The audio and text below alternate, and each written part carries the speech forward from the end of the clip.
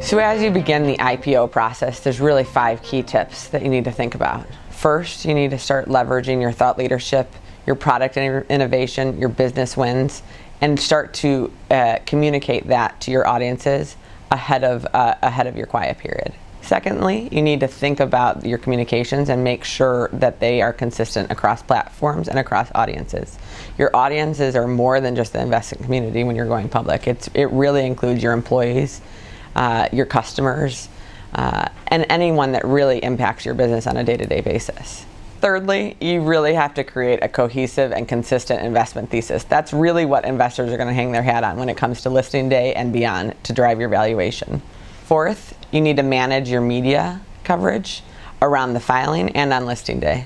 This is, this is really your opportunity to make sure that the message is right with the media, uh, as well as making sure that you are uh, telling your story to a broader base.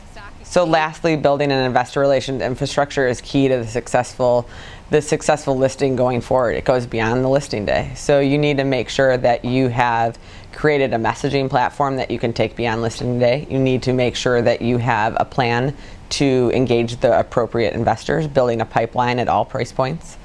And then lastly, uh, making sure that message goes to the right audience through the right channels. So whether it be digital media, your earnings call, your investor presentation at non-deal roadshows, uh, they all come together to tell that message.